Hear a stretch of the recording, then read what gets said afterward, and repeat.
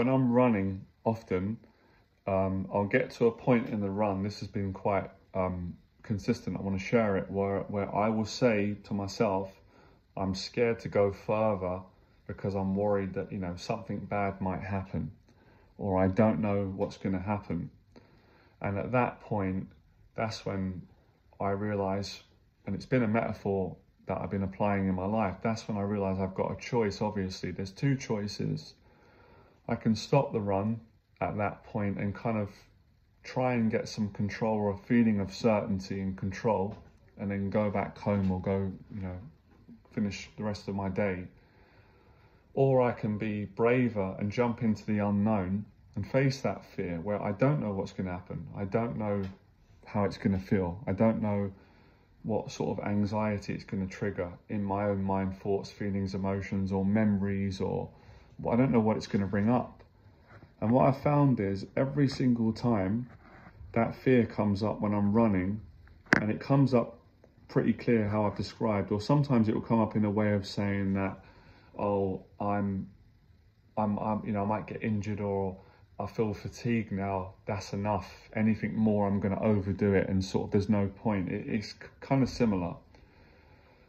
Whenever I've gone further, I've always grown stronger.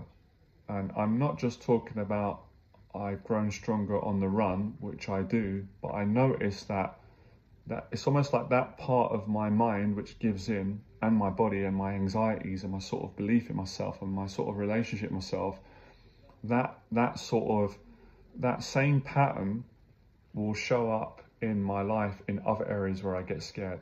And it will present me with that same choice Am I going to stop now because I'm I'm scared, I'm uncertain, and I don't want something bad happen. I'm worried about, I don't know what's going to happen. It's the unknown. I don't have control over going further. Am I going to go further and take that risk and grow, or am I going to retreat?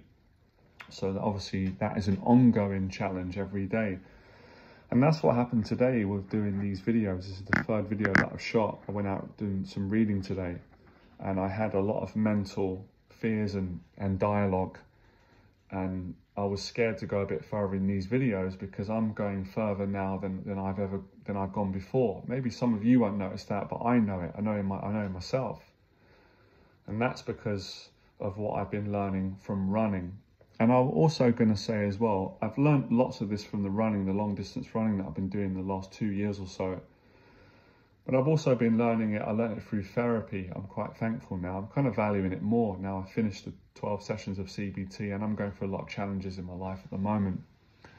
So it's interesting how we've all got certain we've all got certain limitations in our, in our thought patterns, in our in our emotional resilience where we give in to fear or where we, we get to an area, you know, like we've got certain patterns in our life it could be at work, it could be in our relationships, it could be with ourselves, around the house. They're just patterns that emerge. They're mental and emotional patterns that we we develop throughout life, whether we do that consciously or unconsciously, where we sort of we we um we have certain safety parameters, so we kind of know what's going to happen. Let's say, for example, you cook a certain meal and you've been cooking that meal for many years, you, you know what's going to happen. You've cooked it so many times. You know, you, you know how much it costs. You've got a certain order in how you cook it. You know the time. It's the known. There's not uncertainty around it pretty much. But if I was to say to you, change the recipe up, add new things on that you've never added that you might not like, you might say, oh, they're disgusting, or, or you might make a mistake that would be pushing those parameters of your mental capacity and your, you know, emotionally. Does that make sense? So this is what I've learned from, I've, I, I definitely learnt this from boxing as well, but at the moment, predominantly from running. Reason being, as I said, I wasn't, I was not a good runner naturally, or at least I didn't believe it growing up, and I always quit prematurely, but of recent I haven't. I've been going further and further.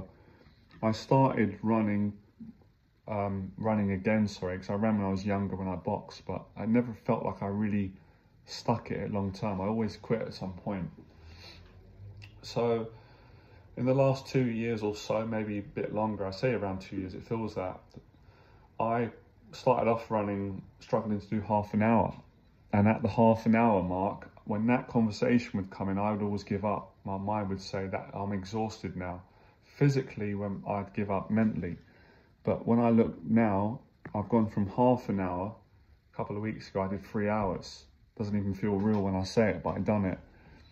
Um, that was a world record for me. And then I did, um, I, I, I, was quite impressed. I tried to beat I couldn't do it. I did two hours and 45. I was just 15 minutes shy of three hours. And then I went out the other day and I, I ran two hours 20, which is still amazing to do two hours or three or even an hour and a half.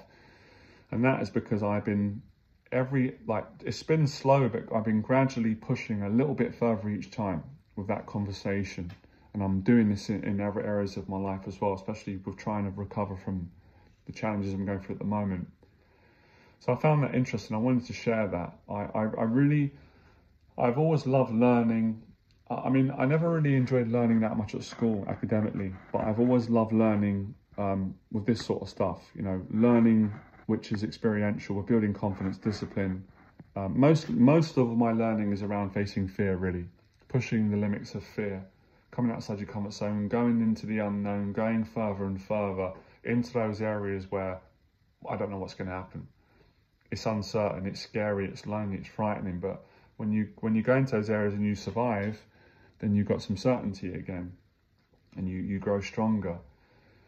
So it's a bit like another analogy, if I can explain. When I first started running in, in uh, the Park Regent's Park, I would do my certain route. I might run half of it or a bit and then I would stop. But a couple of weeks later, I would dare myself to go a bit further. There are other areas in the park that I'd never ran before. And it would be scary because I, I, I would be a bit scared of getting lost as well. Not that much, but a little bit and then I just add more and more until I ran around like every part of the park. Now it's like I'm want to go and maybe run in bigger parks or other areas.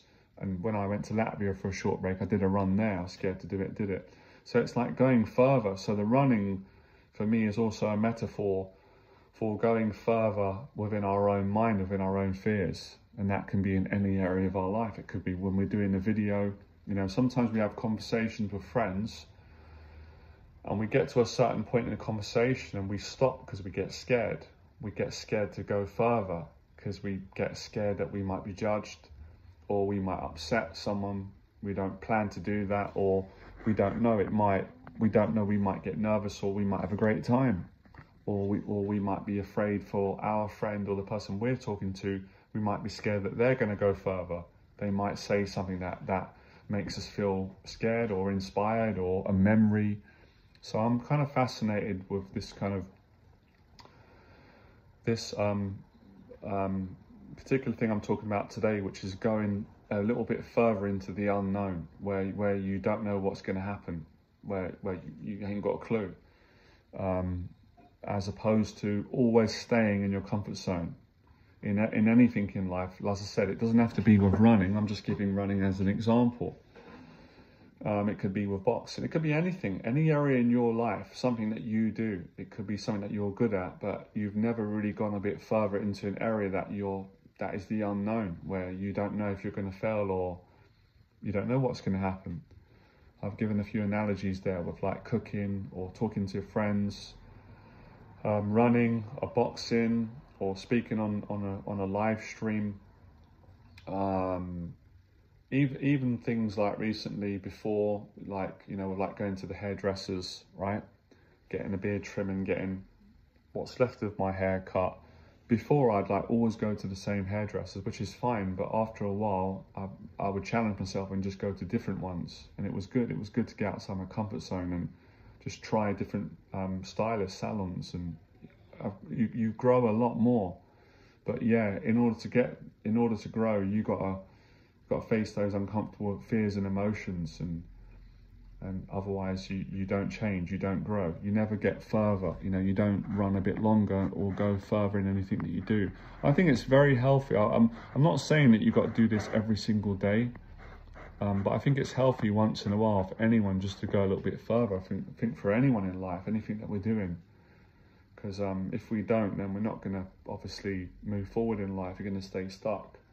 So um, what other things that I want to want to mention? That's mainly it. So yeah, I do like to learn. I do like to sort of get sort of really meaningful bits of information that I gather when I'm taking action or running or facing my fears or challenging myself and things that are really important. I like to kind of get the essence of that, make a note of it, and then share it and explain it. So it becomes a tool that I've got. So whenever whenever I'm in a certain life situation and I get stuck or scared or I have uncertainty, at least I can at least know, well, I've got a choice here. And sometimes I'm scared and I will pass up. Of course, I will just be won't have the courage. I'll be scared and I'll say, nah, I'm going to leave it. I've, I don't, I don't want to go further today. I'm not, I'm too scared. I'm going to leave it and then live to, live to fight another day. So it's all about courage, really. It's all about going further, having more courage. Um, what other things that I want to want to touch on? That's mainly it. I'm just trying to think. Um, what else is there? I can't think now. I've just gone blank.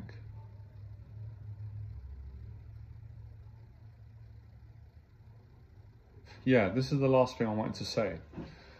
So let's say like today on, on this video, I've been doing it today on these videos, so I've been going a bit further, like when I've been feeling a little bit of internal fear or doubt or sort of feeling like, oh, I'm, I'm kind of going into the unknown here. Because there's certain, like when you've been doing videos for such a long time, I've been doing it for about 12 years now, I still feel like a complete beginner. But when you've been doing it this long, inside, there's almost like a certain feeling of safety where I can speak for however long, finish what I'm saying, and then I can sort of sometimes feel like my fears will kick in and it'll be like, right, I'm going to end the video now. But now I've got a choice to actually say, well, now actually, I don't want to end the video when I feel fear coming up or discomfort or feeling of, like I'm out of control or, or doubt or uncertainty. I'm going to apply that same principle I said when I was running and, and go a little bit further because other people may you may not know that I'm experiencing that because it's a private thing, but I know I'm experiencing it, and that's the important thing for everyone. And then I might choose to speak a little bit more or to push through that resistance or feeling awkward or however I'm feeling. So when you're doing it in the moment, it doesn't feel good, doesn't feel pleasurable. Wherever you're doing it, whether you're running or in a video, you're basically like um, not giving up um, when you feel that's enough, or as I said, you're not staying in the parameters of your what is comfortable or certain. You're you're going into the unknown, even if that's just a minute longer in a conversation or a run or whatever you're doing. It feels scary. It feels risky. It feels uncomfortable. It feels like it's oh, I shouldn't do this. It doesn't feel good. But later on, like the next day or the next weeks, you'll you'll you'll appreciate the growth that you've got. You don't notice it straight away, and then when you're when you're in whatever life situation a little bit later on, it shows up. You feel it. You feel that growth in your. You feel it. It's like you've added something. You feel better, and then obviously it's a continuation. So it does take time and effort to notice because I didn't notice at the start. I was like, I'm going through all this. It's scary. It's it's kind of getting it's kind of getting me down in these moments. It's quite a, it's quite a depressing feeling. It's quite a, you feel like you're going through darkness, but later on, you know, there's light at the end of the tunnel. Things get better, and you realize that. And when you realize that more, your mind starts to adjust more your perspective, and then you want to go further. And then you've got then you understand. You've got the intelligence behind how it works, why you're doing it, why are you're going to put yourself through something difficult because you're going to get a good reward after, right? So I'll end on that. Hope that helps.